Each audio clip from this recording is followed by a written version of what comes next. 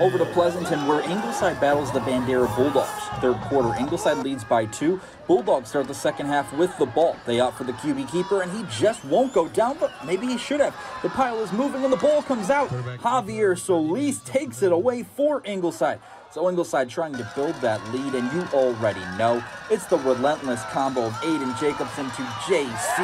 Smith. 35-26 Mustangs. Next Mustangs chance, help yourself to some dessert, Jacobson.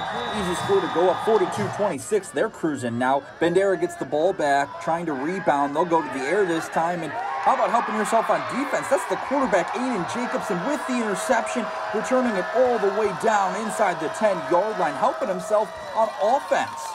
That leads to another opportunity for the Mustangs, and who else? That's J.C. Smith, his third of the night. Can he be stopped? I'm too good. Uh, I'll say you're good, but it gets better, and I'll talk about that in just a minute. Bandera trying to keep hope alive. Ingleside will not let them through, and whoa, that's J.C. Smith on defense now, stripping the ball, heading the other way. He's going to score on defense too. What can't he do? And into the fourth quarter, I key in on J.C. Smith here as he scores his fourth receiving touchdown of the night. And why is that important? He just tied the state and national record for receiving touchdowns in a season. Hell of a night for J.C. Smith.